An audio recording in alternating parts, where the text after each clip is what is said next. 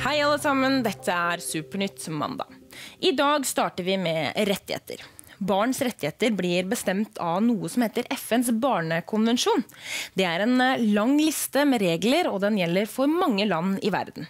Reglene sier bl.a. at alle barn skal ha rett til mat, klær, et sted å bo og skolegang. I Norge er det stort sett bra å være barn, men noen ting kan bli bedre. FN mener de voksne i Norge må bli flinkere til å høre på det barn sier. Hei, hei. Velkommen til Redd Barna. Velkommen hit. Vi skal inn her, vi. Frida og Naomi er på besøk hos Redd Barna i Oslo.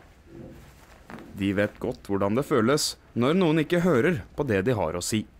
Det kan være litt sånn irriterende noen ganger, fordi det er mange som ikke hører på barn og ikke bryr seg om barn og bare tenker på seg selv. Men nå må alle voksne i Norge bli flinkere til å høre på hva barn mener. Det sier denne mannen, Lothar Krappmann. Lothar jobber i FN og er et slags barneombud for hele verden.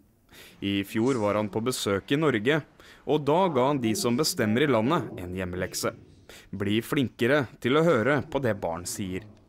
Her inne jobber en mann som skal sørge for at dere har det bra.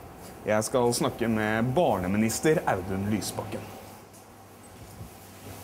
Audun må nå gjøre den hjemmeleksen han har fått av Lothar og FN.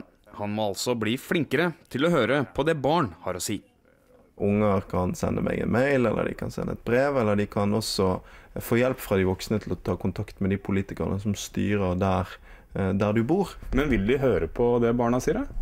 Ja, Det håper jeg, fordi politikerne i Norge og alle voksne i Norge skal høre på barn. Og det vil være veldig dumt hvis alle barna i Norge ikke får muligheten til å være med og påvirke hvordan vi skal ha det i dette landet. For jeg tror barn har veldig mye klokt eh, å, å komme med. og og eh, hvis vi ønsker at det skal være bedre å være barn i Norge, så må vi jo høre på ungene sjøl.